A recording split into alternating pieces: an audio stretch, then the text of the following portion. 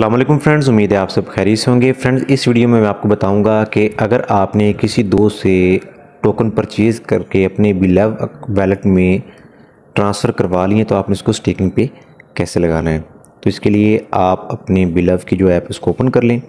जब आप ओपन करेंगे तो आपके सामने ये इंटरफेस आ जाएगा। यहाँ पर स्टेक बिलव का ऑप्शन होगा और यहाँ पर आपका बैलेंस शो होगा। जो यहाँ पर आपका बैलेंस शो हो रहा होगा, वो आपका लगेगा स्टेक के ऊपर।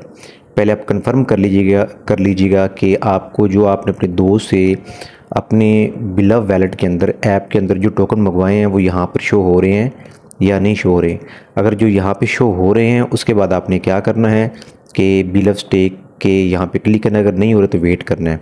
ठीक है, अब मैं सपोज़ कर लेता हूँ कि यहाँ पर हो रहे हैं तो आप यहाँ पर स्टेक बी एल पे क्लिक करेंगे। क्लिक करने के बाद यहाँ पर नीचे बैलेंस दिखा दिया जाएगा। तो जितना बैलेंस होगा वो यहाँ पर आप लिख दें, मिसाल के तौर पर अगर यहाँ पर हज़ार टोकन आपने किए, हज़ार बैलेंस है तो आपने यहाँ पर हज़ार लिख कर स्टेक अमाउंट पे क्लिक करना है। जब इस पर क्लिक करेंगे तो आपके पास, आपके जी अकाउंट में एक ओटीपी आएगा।